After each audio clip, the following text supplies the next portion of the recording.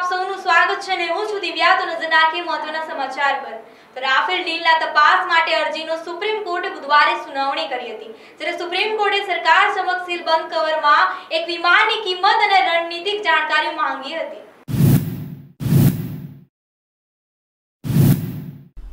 Rafale ડીલની તપાસ માટે અરજીઓ પર સુપ્રીમ કોર્ટે બુધવારે સુનાવણી કરી હતી. સુપ્રીમ કોર્ટે સરકાર સમક્ષ સીલ બંધ કવરમાં વિમાનની કિંમત અને રણનીતિક જાણકારી માંગી હતી. સુપ્રીમ કોર્ટે તે માટે કેન્દ્રને દસ દિવસનો સમય આપ્યો હતો.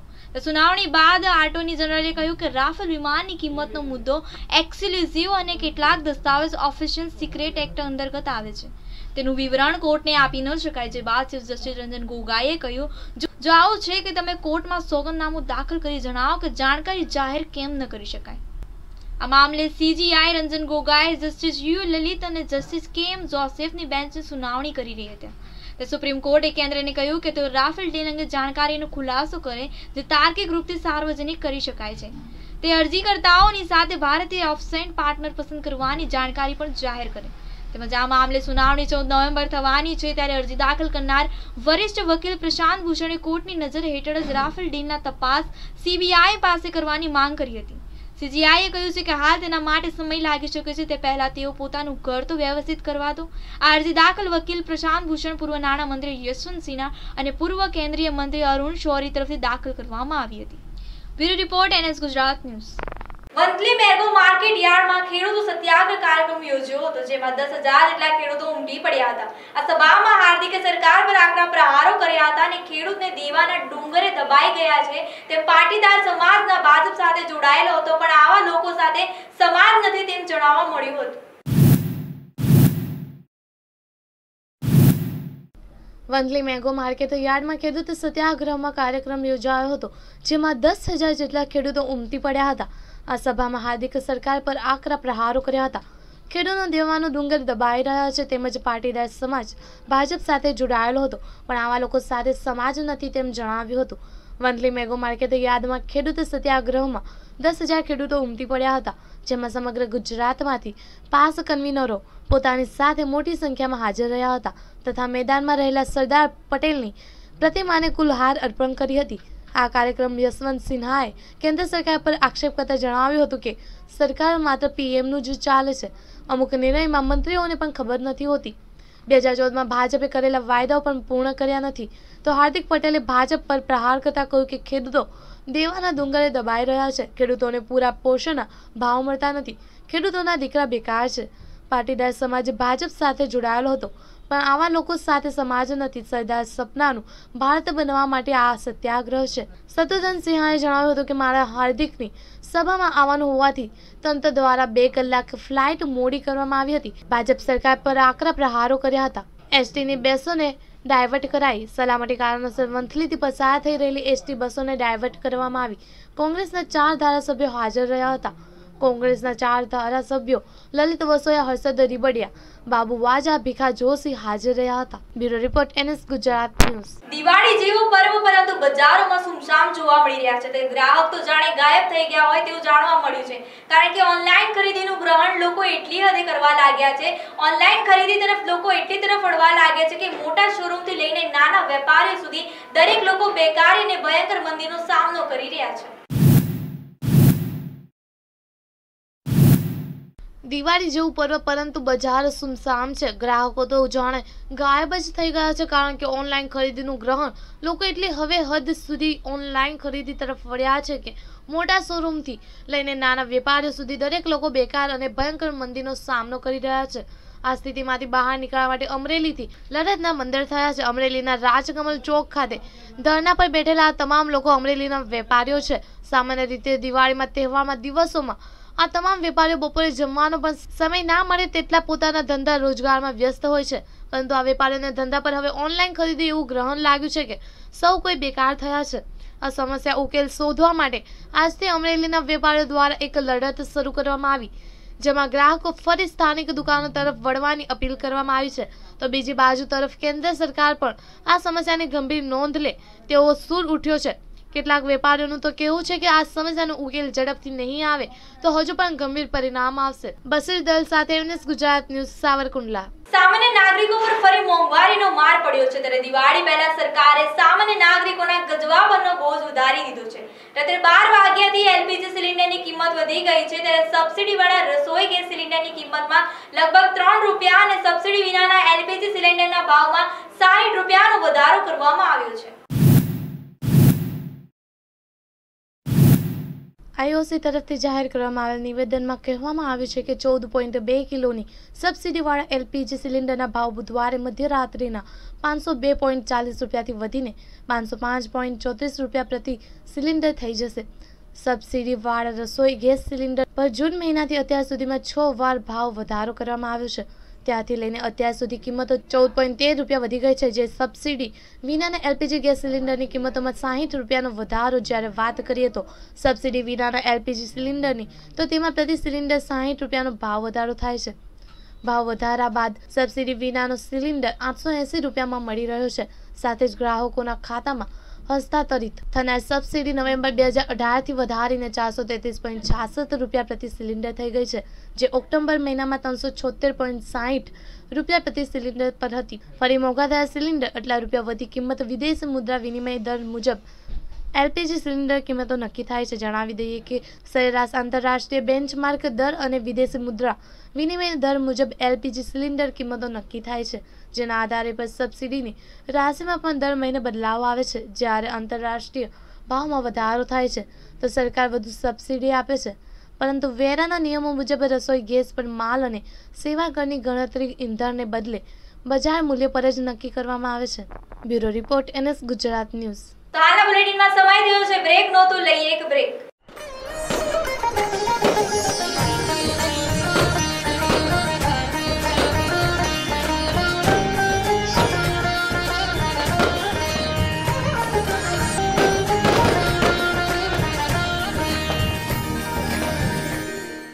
मैं Jignesh R Maurya bright English school CTM की तरफ से आप सभी को दीपावली एवं नूतन वर्षा अभिनंदन एवं भाई बहनों के पावन पर्व, ऐसे भाई दूज की आप सभी को ढेरों सारी शुभकामनाएँ।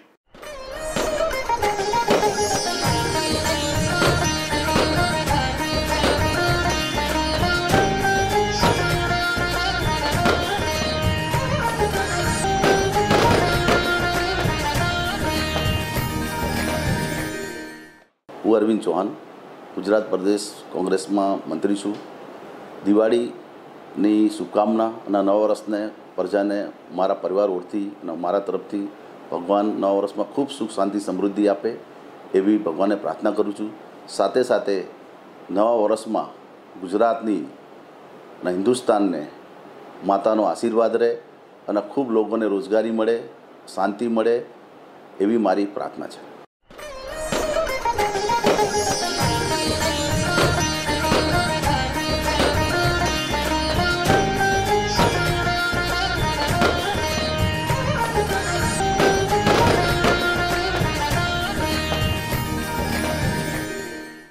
मैं डॉक्टर हसमुख अग्रवाल, यहाँ साहिबाग में रेशम भाई हॉस्पिटल चलाता हूँ।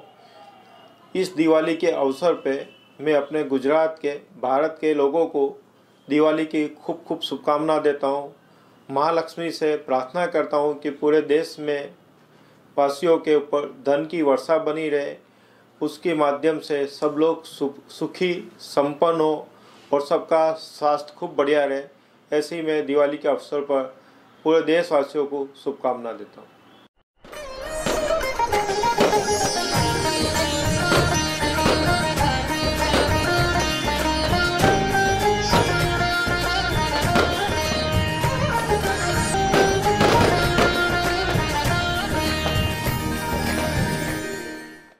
मैं इंद्र मौर्य, ओम शांति विद्यालय की तरफ़ से आप सभी देशवासियों को दिवाली की और नए वर्ष की हार्दिक शुभकामना देता हूं और विद्यार्थी परिवार ये शुभकामना देता है कि आपका नया वर्ष मंगलकारी हो शुभकारी हो और प्रगतिकारी हो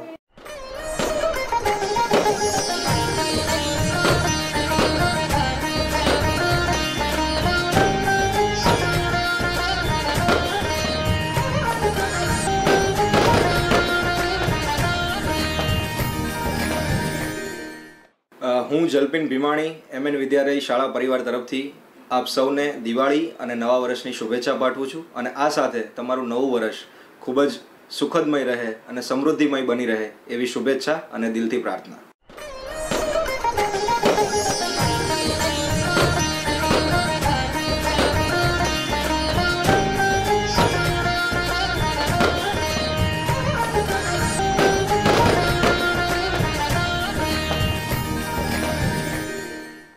બાદ આપનું સ્વાગત છે ત્યારે જેતપુરમાં એલપીએસ ગ્રુપ દ્વારા કર્મવીર રેલી અને સરદાર વલ્લભભાઈ પટેલના સ્ટેચ્યુનું અનાવરણ વિધિ કરવામાં આવી હતી. જેતપુરમાં દેસાઈવાડી ખાતે આવેલ સરદાર ગાર્ડનમાં એલપીએસ ગ્રુપ દ્વારા સરદાર વલ્લભભાઈ પટેલના એકસો તેતાલીસમી જન્મ જયંતિ ધૂમધામથી ઉજવણી કરવામાં આવી હતી. સરદાર જયંતિ નિમિત્તે ગ્રુપ દ્વારા નવાગઢ રામજી મંદિરેથી બાઇક રેલી યોજીને આ બાઇક રેલીમાં હજારોની સંખ્યામાં એલપીએસના કાર્યકર્તાઓ હાજર રહેલા. જય સરદારના નારાથી વાતાવરણ ગુંજી ઉઠે. આ બાઇક રેલી નવાગઢથી નવાગઢ ચોકમાં આવેલ બાબા સાહેબની પ્રતિમાને હાર તોરા કરેલ. ત્યારબાદ આ બાઇક રેલી તીનબત્તી ચોક ખાતે આવી. તીનબત્તી ચોકમાં આવેલ વીર ચાંપરાજ વાળાની પ્રતિમાને હાર તેરા કરેલ અને તેની બત્તી ચોકથી સરદાર ચોક ખાતે બાઇક રેલી આવી. અને સરદાર વલ્લભભાઈ પટેલની પ્રતિમાને હાર તોડા કરેલ. અને આ બાઇક રેલી દેસાઈવાડી ખાતે આવેલ સરદાર ગાર્ડનમાં આવેલ. અને અહીં સરદાર વલ્લભભાઈની એલપીએસ ગ્રુપ દ્વારા પૂજા અર્ચના કરી હતી. અને જય સરદારના નાણાં સાથે સરદાર વલ્લભભાઈ પટેલ સ્ટેચ્યુનું અનાવરણ વિધિ કરવામાં આવેલ હતી. તેમજ ગૌ સેવાના લાભાર્થે રાત્રિના ભવ્ય લોક ડાયરાનું આયોજન કરવામાં આવેલ હતું. આ સમગ્ર કાર્યક્રમ સંચાલન એલપીએસ ગ્રુપના કલ્પેશભાઈ રાંક અને શ્યામ ઠુમ્મર સહિતના આગેવાનોએ જહેમત ઉઠાવી હતી. જય હિન્દ, જય ભારત, જય સરદાર. આપણે એકસો તેતાલીસમી જન્મ જયંતિ જેતપુર સિટીમાં આજે સરદાર પાર્ક, દેસાઈવાડીમાં સરદાર પાર્કમાં આપણે અનાવરણ કર્યું. તમામ જ્ઞાતિને અમારા ગ્રુપ, એલપીએસ ગ્રુપે આમંત્રણ આપ્યું. તમામ ભાઈઓ હાજર રહ્યા, તમામ જ્ઞાતિએ રસ્તામાં અમારી રેલીમાં સન્માન કર્યું. હારતોરા કર્યા સરદાર પટેલને.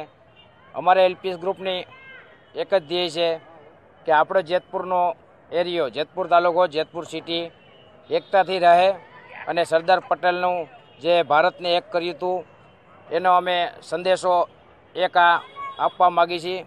તમામ ગુજરાતના પબ્લિકને તમામ ઇન્ડિયાની પબ્લિકને એકતા રાખજો. સ્ટેચ્યુ ઓફ યુનિટી આપણે એકસો તેતાલીસ જન્મજયંતિએ એકસો બ્યાસી મીટરનું જે તથા આપણું આજે નર્મદા ડેમે જે થઈ રહ્યું છે અને અનાવરણ થઈ ગયું. તેનો ખૂબ ખૂબ આભાર અને તમામ જ્ઞાતિનો અમે એક આભાર માની છીએ કે જેતપુરમાં સહકાર આપ્યો. પ્લસ તમામ જ્ઞાતિનો ખૂબ ખૂબ આભાર. બસ જય હિન્દ આટલું કહું છું. એકતા રાખજો. ફારૂક મોદન સાથે એનએસ ગુજરાત ન્યૂઝ જેતપુર. જમ્મુ કાશ્મીરના બડગામ દિવસની શરૂઆત સેના અને આતંકીઓ વચ્ચે એન્કાઉન્ટર શરૂ થઈ ગયું છે. સૂત્રોના જણાવ્યા પ્રમાણે સેનાએ બે આતંકીઓને ઠાર માર માર્યા છે. જમ્મુ કાશ્મીરના બડગામમાં દિવસની શરૂઆત જ સેના અને આતંકીઓ વચ્ચે એન્કાઉન્ટરથી શરૂ થઈ ગયું છે. સૂત્રના જણાવ્યા પ્રમાણે સેનાએ બે આતંકીઓને ઠાર કરી દીધા છે. ઠાર કરવામાં આવેલા બે આતંકીઓ પાકિસ્તાનના નાગરિક છે. હજુ અહીં બીજા બે ત્રણ આતંકીઓ છુપાયા હોવાની શક્યતા છે. રાતથી સર્ચ ઓપરેશન ચાલુ કરવામાં આવ્યું છે અને તે અત્યારે પણ ચાલી રહ્યું છે. જમ્મુ કાશ્મીરમાં ખીણમાં અંતરે દિવસ એકાઉન્ટર થઈ રહ્યું છે. એક દિવસ પહેલા દક્ષિણ કમિશનરના પુલવામા જિલ્લાના ત્રાલ વિસ્તારમાં સેના સાથે અથડામણમાં બે આતંકીઓ ઠાર કરવામાં આવ્યા હતા. મારવામાં આવેલા આતંકીઓ એક જૈશ એ મોહમ્મદના ચીફ મૌલાના મસૂર અઝહરના ભત્રીજો ઉસ્મેન હદરને પણ ઠાર કરવામાં આવ્યો હતો. ઉસ્માન જૈશ સ્નાઇપર ટીમનો ઉપપ્રમુખ હતો. આ ઓપરેશન બેતાલીસ રાષ્ટ્રીય રાઇફલ્સ, એસઓજી અને સીઆરપીએફના જવાન સામેલ હતા. સેનાએ સર્ચ ઓપરેશન દરમિયાન ફાયરિંગ શરૂ કરતા છુપાયેલા લોકોએ પણ ફાયરિંગ શરૂ કર્યું હતું ઘણા કલાકો સુધી ચાલેલા આ ઓપરેશનમાં અંતે તો સેનાએ તે ઘર જ ઉડાડી દીધું જેમાં આતંકીઓ છુપાયા હતા અહીંથી સેનાએ બે આતંકીઓની લાશ મળી આવી હતી અને એમ ફોર સ્નાઇપર રાઇફલ મળી આવી હતી મંગળવારે કાર્યવાહીમાં આતંકી સંગઠનના અને સ્નાઇપરને ઠાર કરવામાં સેનાને મોટી સફળતા માનવામાં આવે છે નોંધનીય છે કે થોડા દિવસ પહેલા જમ્મુ કાશ્મીરમાં જૈશના સ્નાઇપરોને ચોરી છુપીથી થયેલા હુમલામાં ત્રણ જવાનો શહીદ થયા હતા. Bureau report NS Gujarat news, Jammu Kashmir. લોકસભાની સામાન્ય ચૂંટણી યોજાય તે અગાઉ કેન્દ્ર સરકારે રેલવેના મુસાફરોને દિવાળીના તહેવારની મોટી ગિફ્ટ આપી છે.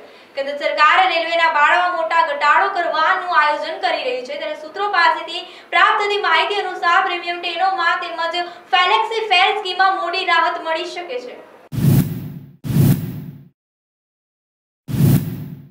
લોકસભાની સામાન્ય ચૂંટણી યોજાય તે અગાઉ કેન્દ્ર સરકારે રેલવેના મુસાફરોને દિવાળીના તહેવારની મોટી ગિફ્ટ આપી શકે તેવી સંભાવના છે. ત્યારે કેન્દ્ર સરકારે રેલવેના ભાડામાં મોટો ઘટાડો કરવાનું આયોજન કરી રહી છે.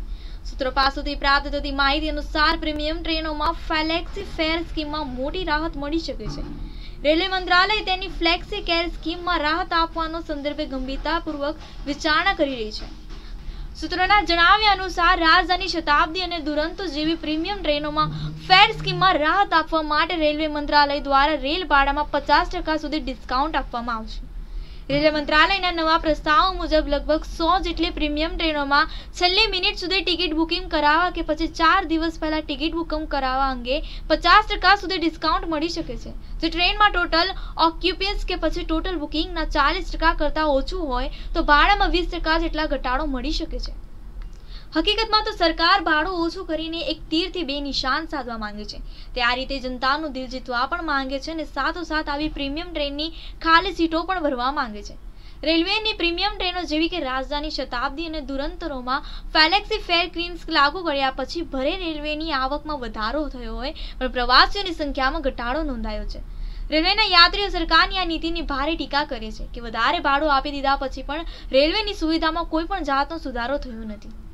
રેલવે મંત્રાલય દ્વારા નવ સપ્ટેમ્બર બે હજાર સોળથી પ્રીમિયમ ટ્રેનોમાં ફેલેક્સી ફેર સ્કીમની શરૂઆત કરવામાં આવી હતી, જેમાં ચુમ્માલીસ રાજધાની અને બાવન દુરંતરો અને છેતાલીસ શતાબ્દી ટ્રેનોનો સમાવેશ થાય છે. આ સ્કીમ અંતર્ગત દસ ટકા સીટ બુકિંગ પર ટ્રેનના બેઝ ફેરમાં દસ ટકાનો વધારો થઈ જાય છે. જો કે ગત વર્ષે ડિસેમ્બરમાં રેલવે મંત્રાલય દ્વારા સ્કીમમાં મામૂલી રાહત આપવાની શરૂઆત કરવામાં આવી હતી. Bureau report NS Gujarat news. Festive demand વધવાને કારણે સોનાની કિંમતોમાં તેજી આવી છે. ત્યારે બુધવારે સોનું છ વર્ષના રેકોર્ડ સ્તર પર પહોંચી ગયું છે. તે તહેવારમાં માંગ વધવાની સાથે સોનામાં લગભગ બીજા કારોબારી સત્રમાં તેજી રહી છે. ફેસ્ટિવ ડિમાન્ડ વધવાને કારણે સોનાની કિંમતમાં પણ તેજી જોવા મળી રહી છે. ત્યારે બુધવારે સોનું છ વર્ષના રેકોર્ડ તોડ સ્તરે પહોંચી ગયું હતું.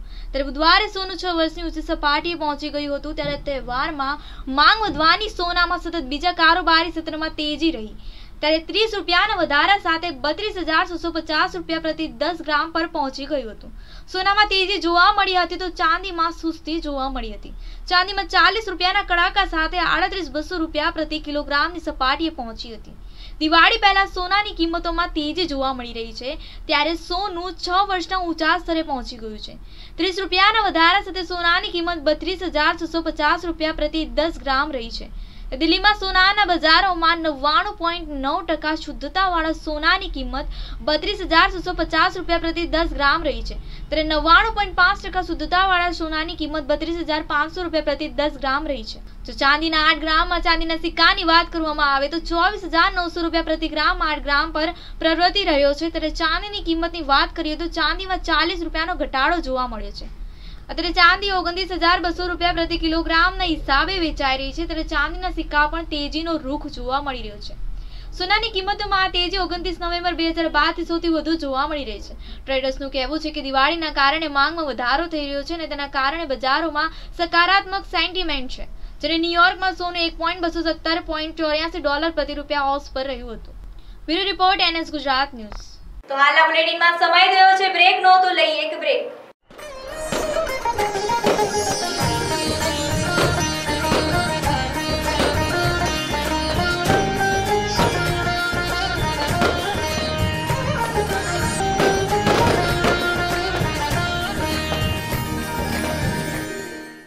એનએસ આસ્થા ન્યૂઝ તરફથી આપ સૌને દિવાળીની હાર્દિક શુભકામનાઓ.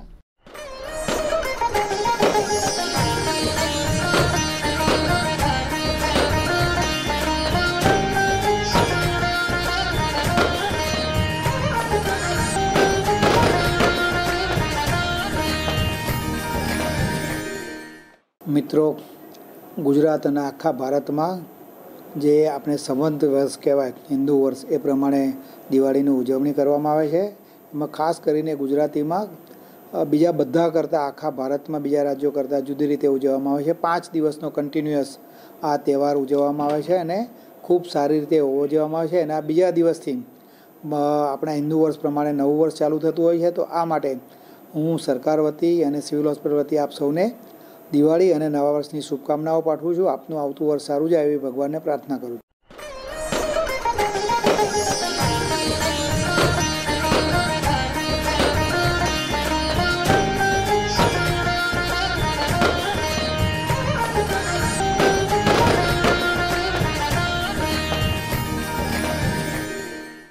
मैं महेश सिंह कुशवाहा उत्तर भारतीय विकास परिषद कोर कमेटी अ, प्रदेश अध्यक्ष क्षत्रिय विकास परिषद उपाध्यक्ष अखिल भारतीय हिंदी भाषी उत्थान संघ कोषाध्यक्ष, आप सभी को दीपावली के पर्व पर खूब खूब शुभकामनाएँ देता हूँ।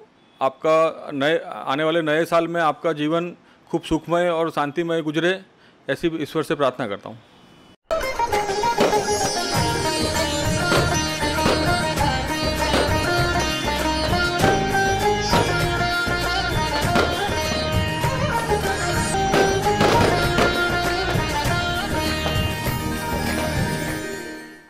મારું નામ વોચ્યા મોનાભાઈ ધોળાભાઈ છે અને નવા વર્ષ જોજરવા ગ્રુપ ગામ પંચાયતના સરપંચ તરીકે નિમણૂક થયો છું અને નવા વર્ષની દેશવાસીઓને મારી શુભેચ્છા છે અને મારા ગામજનોને બધાને અરજ છે કે બાળકો નિશાળે નિયમિત ભણવા મૂકે અને દેશને આગળ વધારે, બાળકો વેશથી ભણે ભણે અને આગળ વધે. અને એ જ મારી શુભેચ્છા છે અને ગામજનોને પણ શુભેચ્છા છે.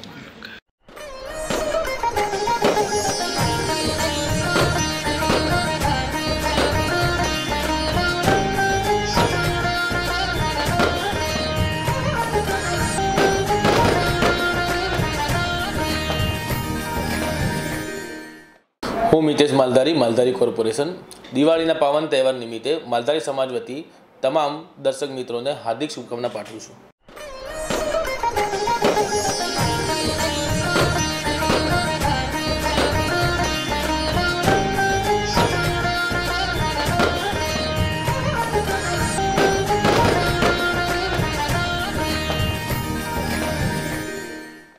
બાદ આપનું સ્વાગત છે. ત્યારે સંતરામપુર તાલુકાના આદિવાસીઓ દ્વારા સ્ટેચ્યુ ઓફ યુનિટીના કાર્યક્રમને લઈને ઉગ્ર વિરોધ કરવામાં આવી રહ્યો છે અને આદિવાસીઓ દ્વારા ઉગ્ર વિરોધ કરાતા પોલીસે આદિવાસીઓની ધરપકડ કરી છે. સંતરામપુર તાલુકાના આદિવાસી આગેવાન એવા રાજુભાઈ વડવાઈએ ખૂબ જ આક્રોશ સાથે જણાવ્યું કે પ્રવર્તમાન સરકાર સામે અમારો વાંધો છે કે આદિવાસીના હિતને નુકસાન પહોંચાડે છે. અને આદિવાસીઓના દાખલાને એન્ટ્રી રદ કરી આદિવાસીના હકને નુકસાન કરવામાં આવી રહ્યું છે. ડેમના કારણે આદિવાસીઓની જમીનને નુકસાન થઈ રહ્યું હોય ત્યારે આદિવાસીઓ ભેગા મળીને સરદાર પટેલનું સ્ટેચ્યુ બનાવી લોકચાહના મેળવાની ભાજપની ચાલ ઊંધી પડી છે. એકત્રીસમી ઓક્ટોબરે આજે કાળા દિવસ તરીકે માનવામાં નિર્ણય લીધો છે ત્યારે પ્રવર્તમાન બહેરી સરકાર અમારા આદિવાસીઓની માંગણીઓને નહીં સ્વીકારે તો આવનાર દિવસોમાં અમે અનેક પ્રકારના કાર્યક્રમો યોજીશું. સરકારે જે ડેમ બનાવ્યા તેમાં કોરિડોરને નામે પણ જમીન સંપાદન કરીને સ્ટેચ્યુ ઓફ યુનિટીના નામે આદિવાસીઓની જમીન પચાવી પાડી છે. તે ઉદ્યોગપતિ તેમના ધંધા રોજગાર માટે આદિવાસીઓની જીવાદોરી એવી જમીનના કામો કરીને સદીઓથી અમારા આદિવાસીઓને નુકસાન પહોંચાડે છે. તેનો અમે વિરોધ કરીએ છીએ. આદિવાસીઓના હક માટે અમે લડત આવીએ છીએ. ત્યારે હજુ પણ લડતા રહીશું. સરકારે ડેમ તો આદિવાસીઓને જમીનમાં બનાવીને આદિવાસીઓને પીવાનું પાણી સુધી પૂરું પાડ્યું નથી. ત્યારે કાયમ આદિવાસીઓને નુકસાન પહોંચાડી ઉદ્યોગપતિઓને ફાયદો કરાવ્યો છે.